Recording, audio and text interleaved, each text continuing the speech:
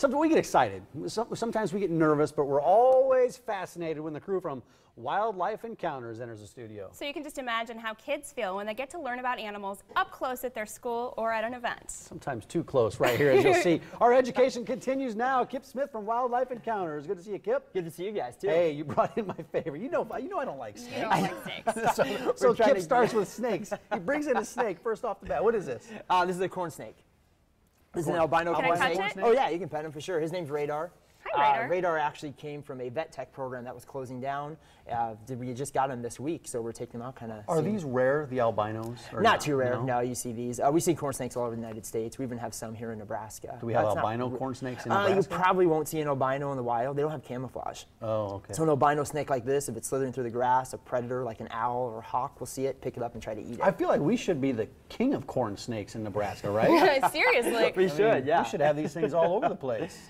Yeah, they get that name. Uh, if you look at the bottom of him, his scales kind of look like corn. So that's why they call them corn snakes. Oh, they do. It Is this like a dangerous animal? No, not dangerous at all. Uh, sometimes people think they're dangerous though. If these animals get scared, they rattle their tail like a rattlesnake. So Do they people really? mistake them for rattlesnakes. We don't wanna they'll scare try that thing. We don't wanna yeah. try that out. We know they're, they're not venomous. They have sharp teeth, but it's not going to do anything to you. If one bit you, if you just bleed a little tiny bit. It'd be like getting a shot. So yeah, it's not gonna tail. I mean, look all. at the, the tip of the tail. It's s- even a strong muscle like the tip. Yeah, he's just a constrictor. So he, he bites his food, wraps around it, squeezes it, and then swallows it completely whole. That's amazing. Does he eat rodents or Yep, yeah, this guy's gonna eat mice. Uh, but in the wild, you know, they eat frogs, toads, things like that as well. how long will he live for? This guy is, he's in his late teens. They said Mm-hmm. maybe even 20. Uh, so we'll see maybe 23, 25 years for these So animals. he's getting up there in his age. yeah, yeah, he's older for He's sure. a senior citizen. Senior, yep. What else do we else got? did Do we have bring in? animal? Oh, we got one more. We'll take this guy off, but we're having a little demonstration for you guys. I'm gonna have you hold this piece. Okay. And You then brought us- okay. That's I get the yours. small one? You get the small one. Yeah. I like my You're up odds to here. something. I can oh always my tell. goodness. Good. Look at this thing. Good. Great. Holy Look at his moly. jaws. Look at his mouth. Should we be frightened right now? no, no, you're Is totally he just safe. hungry? Why is he doing Uh, that? this is what they do in the wild. He sit, this is how he hunts. He sits and he waits at the he bottom just of a waits river. for food to fall in his mouth? Yeah, he does. Well, if you look, I can point towards the camera. If you look at that little pink thing in his mouth, Uh-huh. that's a part of his tongue. So it's a little fishing lure. He sits, he moves that around just like he's moving right there. Very a fish cool. thinks He's it's a slobbering worm. all over our table. That's just water. He's transporting water. so a fish swims in his mouth, he bites it, and he eats it. And they swim incredibly fast. you No can hold that celery straight Hold in front of you, Kayla.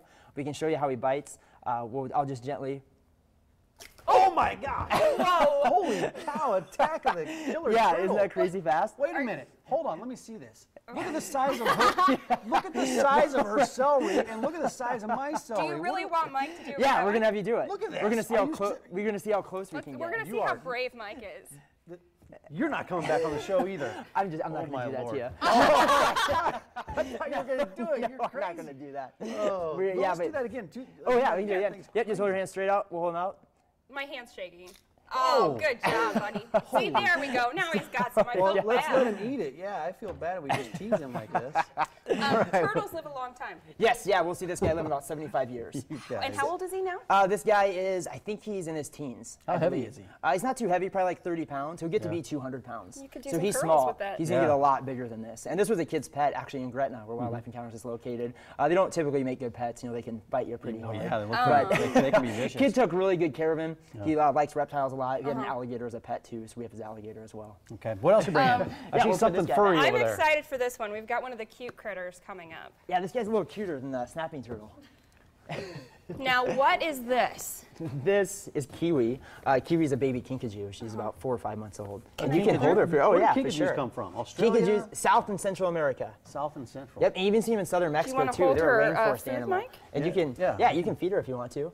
Any, She's a little any calmer than the how to feed this thing? I don't want to get my Don't No, yeah, last time- hand over it. Last time with the lemur, just just hand it to her. Yeah. So don't- Yeah, She might not be interested in food. She's just checking stuff She, out yeah, right now. she, she has a really sweetie. good sense of smell. Oh, so sure. she's going to be smelling you mm-hmm. guys, checking everything out. She'll climb on your shoulders. They have a really long Oh, tongue she- though, so she may try to lick your ear. She'll give you a wet willy. She's very gentle.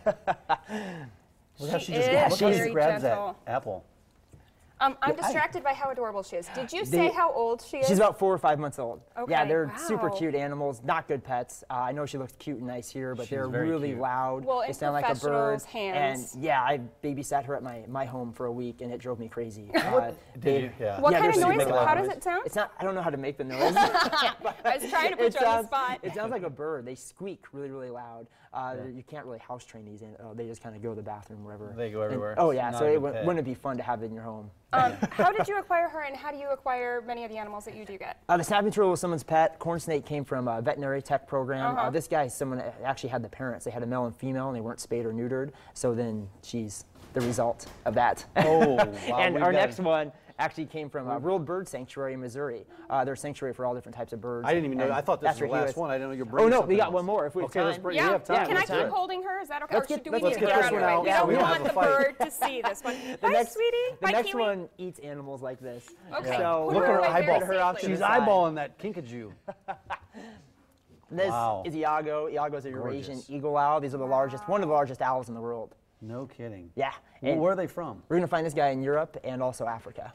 How'd they end up in? How did? and How'd you guys end up with it? Uh, he was born at World Bird Sanctuary. Uh, he's about 20 years old, uh, so he was hatched from an egg actually at that sanctuary. well, look how beautiful that owl. they look are- at it, they're- just its head just spins on the swivel. They do, and it's really cool. They have to spin that, move their head all, almost all the way around because they have fixed eyes. They cannot move their eyeballs. So he has to move his head in order to be able to see. Oh, there he goes.